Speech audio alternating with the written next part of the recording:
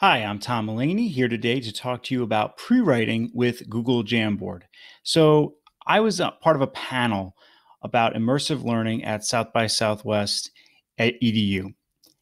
And on the plane ride home, I wanted to pre write a blog post, outline a blog post. And I could use Google Docs because it will work offline. I wasn't going to pay for Wi Fi on the flight, but I was so tired. And so I said, Oh, I have this Google Jamboard app. Let's play with that. And so what I did was I created a bit of an outline. And here you can see I started sketching. I was I was too tired to type, but I was not too tired to just jot some things down. And I imported some images. If you look at this tool right here, you can use that to import some images from your hard drive. I put some on later from my uh, from the internet when I connected to the internet.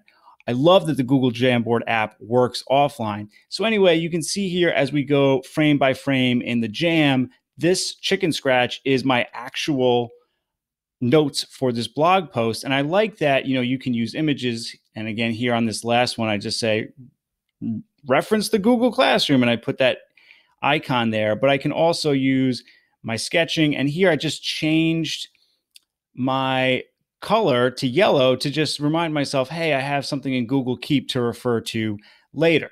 So you have this pre-writing done in Jamboard, in the Jamboard app. What if you then use a device, especially to write the actual product, in my case, a blog post, that doesn't have the Play Store, doesn't have Google Jamboard? Well, we have a couple options. First, if I click the three dot snowman or snow person over here, I can share that jam as a PDF and I am then prompted to eh, Gmail it to myself. And that's exactly what I did. I did do that. But I have another thing I can do where I don't even have to do that. So if I then go to Google Chrome, and if I'm signed in with Google and I type in jamboard.google.com, look what comes up.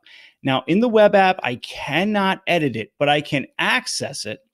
And so here are my pre writing notes for my jam. And actually, I can go frame by frame and get each part of the jam. And there you go. And so Google Jamboard, offline pre writing that then can be accessed on any device, even if it doesn't have the Google Jamboard app. If you have any questions about this strategy, please comment below or tweet me at Tom E. Mullaney. If you like this video, please like, share, and subscribe. Thank you so much for watching.